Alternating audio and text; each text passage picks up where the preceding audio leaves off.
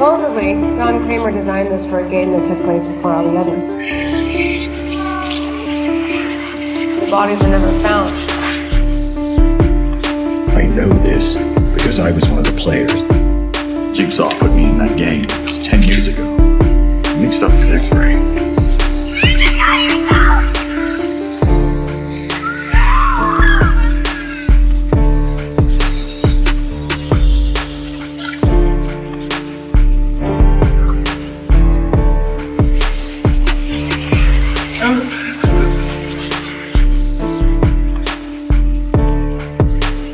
John decided I shouldn't have to die over an honest mistake.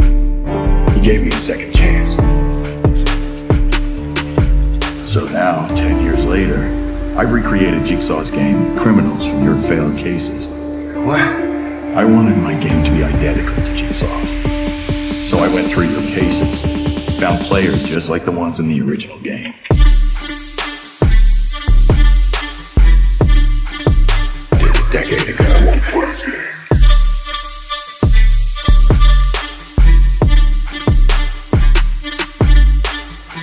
What kind of firearm do you use? Glock 22. Most cops do. Except Halloran has got a 17. Blood under the fingernails of our first victim. It's John Kramer's blood. Some think it's Jigsaw. Some will suspect you. No one will suspect me. Okay, we need to bring him in. Now! Why was Edgar Munsen free?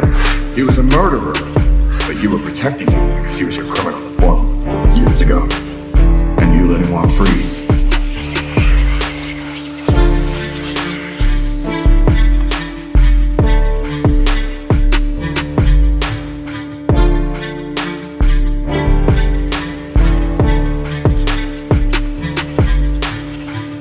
John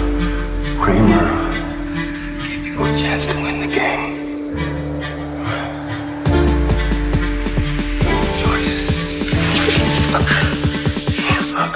You have a choice.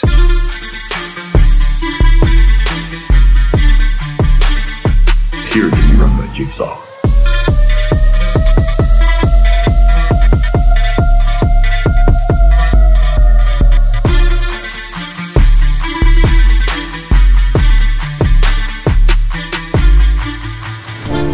I gotta choose who dies. Them or me. I'm not fucking dying. Because we'll speak for the dead. Together, we built a legacy.